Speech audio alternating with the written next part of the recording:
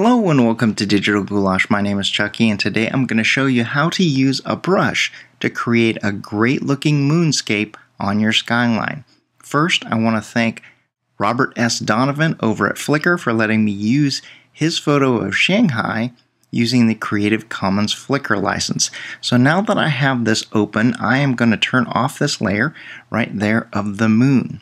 The next thing we need to do is go to Brush Easy. I have that one right here, and as you can see, this is a brush pack right there. And I want to thank Hawksmont right there. And it says it's freeware with no credit, so just use them. Well, I want to give credit to Hawksmont for creating these brushes, these great moon brushes. If you want to find some more, you can just go to a Google search there and you can look at that but the moon brushes come up first on the Google search because they are great brushes. So let's jump back over to Photoshop Elements and I'll show you how to load a brush. Now we need to get onto the brush tool, so I'm going to hit B on my keyboard. That is going to take us to the brush tool over here. If you've seen some of my tutorials before, we click the down arrow right there in Photoshop Elements 11. And then in this area right here, we have these little lines with the down arrow. If you click on those, there is the ability to load a brush right there. So I have my brushes loaded they're in my downloads folder over there. I have a couple patriotic ones that I'm using with the fireworks and then we come over here, keep going on down and eventually we have moon brushes by Hawksmont right there. Let's go ahead and do that and I'm going to go click on my brushes right there. It is going to load all these brushes and the brush that I picked is the very last brush here called Moon 9. So I'm going to click on that right there. If I put the cursor above the picture, you can see that we need to adjust the size of the brush there. So I'm going to adjust the size of my brush down to a believable size right there. The next thing I'm going to do is hit my brush settings box right there. I'm going to leave these just the way they are because I am just going to tap that particular brush and put the moon in it. I'm going to go over into my layers palette right there. I'm going to click the new layer or as I call it the dog ear icon that will add a transparent layer above my picture. Now I want to make sure that I have white selected right there. If you don't, you can always hit D on your keyboard. That will put the black and white default colors in there. If you hit X, that will swap those around so that you have white as your main color.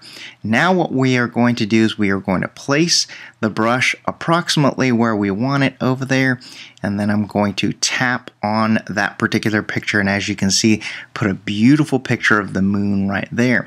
Now when you are making long exposures a lot of times you'll notice that there's a little bit of a halo to these things so what we need to do is we need to duplicate our layer with a command J right there. It does make this a little bit brighter but what I am going to do is go over into one of my favorite filters and that is our Gaussian blur filter right here.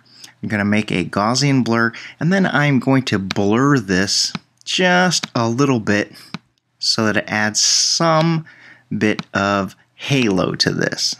And then I'm going to select OK. Now if this halo is a little bit too much, we can always go over to our opacity and we can dial that opacity down just a tiny bit just so that we still have a beautiful moon there with a little bit of a halo that goes around it.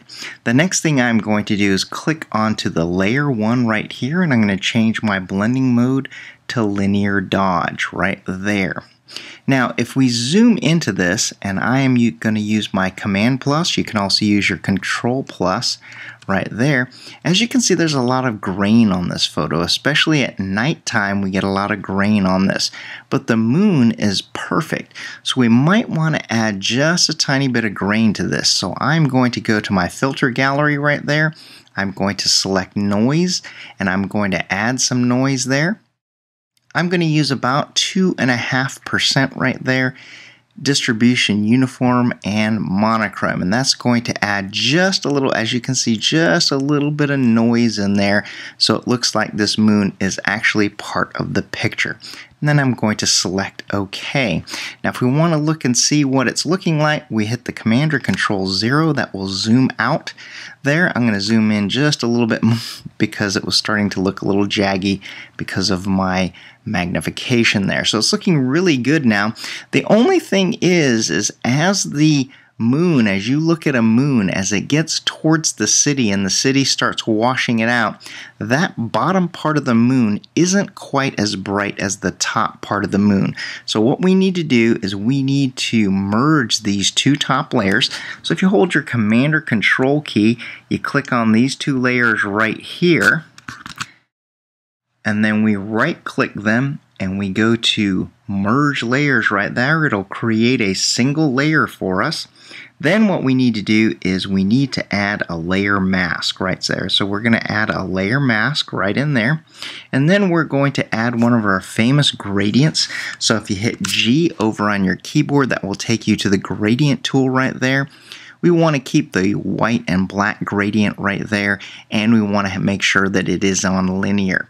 And then I'm going to draw from the top to the bottom. I'm going to draw a line from the top there to um, maybe 25% beyond the actual moon, maybe 50% beyond the actual moon right there. And as you can see, that made a linear gradient. Now that doesn't look too good, so I'm going to try that again maybe I will double the length of my line right there. Start at the top, about double the length of the moon. There we go, and that's looking really good. The top of the moon is really bright where the sky is very dark, and as it gets towards the city lights, it's starting to get a little less noticeable, a little less clear right there. And there we have it. We loaded our brush and we put a moon into our cityscape. If you haven't done so already, please subscribe to my videos, give me a thumbs up, give me a like, and give me some suggestions on what new tutorials you want for 2013. Happy New Year, and cheers!